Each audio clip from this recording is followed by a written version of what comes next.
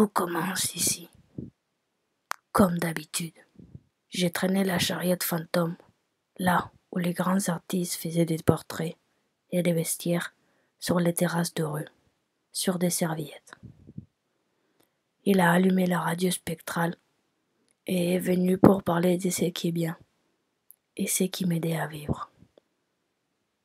De ce qui est bien. És retransmès eh, per i em penso que a París ens estan escoltant. Eh? Pablo, ça va? Por la cuchara mugrienta de este domingo aquí en París, lloviendo con sus manos la canción de algodón de su perla, pero ¿qué se ha de hacer? Así es, y hay que dejar que cada uno arrastre un poco más arriba el trapo viejo que heredamos tan gastado de tantos refregones por las nubes, limpiando cacerolas grasientas atravesadas y roídas por los huesos rotos del conejo hecho pascua y aduana de la goma que ya ni su rabia mastica en el molino de los odios cariñosamente, lame el cristal de la llaga para ver en el fondo de la sala el baile mudo y el silencio, soplar en la trompeta y ahogar al músico de su perfume del etéreo y vestirlo de cartas de visita. Això devien ser tarjetes, ja comença a fer fran eh, francesades aquest noi y vestirlo de cartas de visita y colocarlo encima del discóbolo y reírse de él, deshacer sus costuras y llevárselo luego a tostar a la sartén en donde fríen las orejas del mono retratado en la punta del fonógrafo, si el gris barre la camisa del puerto en la rueda del disco de castañuelas, la estridencia de su par de banderillas le toca en el bolsillo donde guarda su verano de Barcelona, la bella y la lista, en donde yo dejé tantas cosas colgadas al altar de la alegría que ahora mezclo de un poco del color del cuello del palomo de la melancolía. 30 d'octubre de l'any passat, 35, Aprieta duro que salga el, el, elefante con su carga de trenes y escupa el cante hondo de su olor de olla podrida que por el túnel, a veces delicioso, devuelve el marco que cuadró la imagen del torero pintada por el toro. Es caldo de gallina la hora escogida para es caldo de gallina la hora escogida para la hoja del árbol que meciéndose tan mona entre tantos besitos cae sobre la hierba y se queda dormida. 8 de novembre del 35.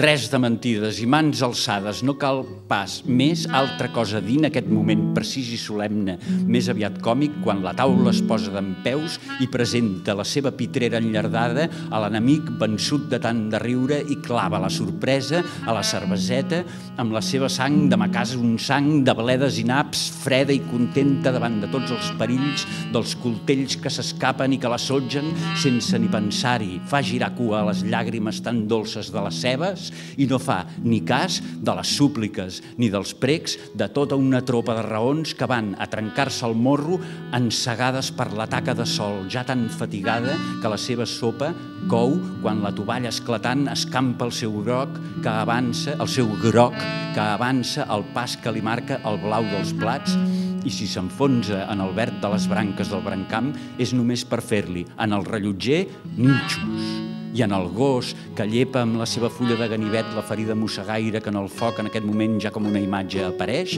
dues espècies d'ales de coloma i del color dels lilàs que aixequen en l'aire la cassola i descobreixen la paraula que se'n ve a veure a la mà l'aigua freda que raja i baixa i ve a estendre's per escriure la seva història a la cresta de les onades. Com veuen, el sopar és present.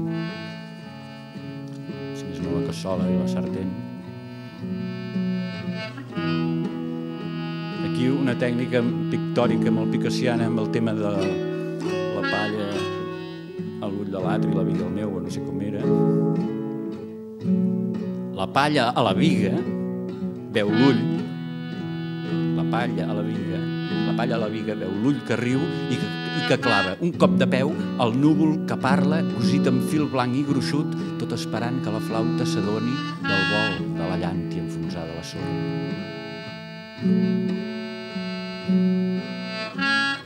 Sobre la mesa del comedor, en encima del inmenso tapiz color de sangre seca, sobre la mesa del comedor, encima del inmenso tapiz color de sangre seca, el cenicero relleno de colillas parecía una calaverita tirándome la lengua. Hoy, esta noche, 10 de noviembre, a las 10 y un cuarto, ya para que con tres más sean las 11 en el reloj que sonará la hora. Els quadros són boges punxades al cor de les bombolles radiants, estranyudes pels ulls, a la gola de la carambòlica fuetada que bat les ales al voltant del quadrat del seu desig.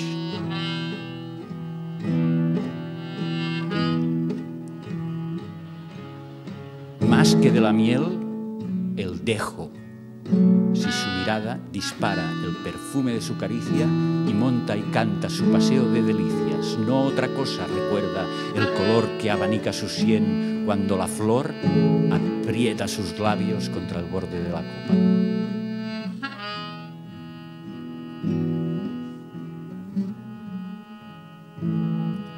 Cavall d'aquesta tarda que se'n va arrossegant les seves tripes i el seu fetge sobre el llac de Miosotis, obert a tota volada,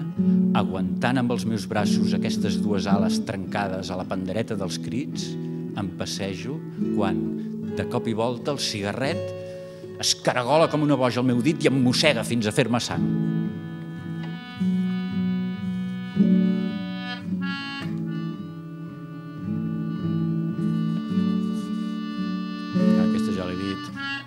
L'amor és una ortiga que s'ha de collir a cada moment si hom vol fer la migdiada ajagut a la seva ombra.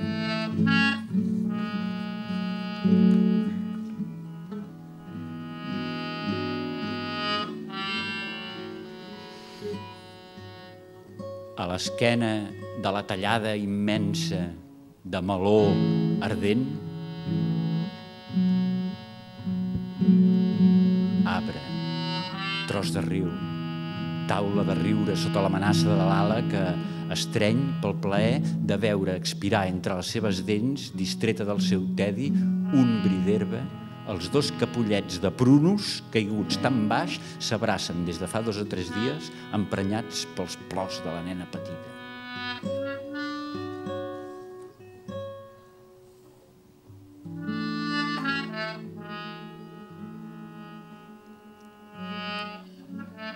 Set de desembre.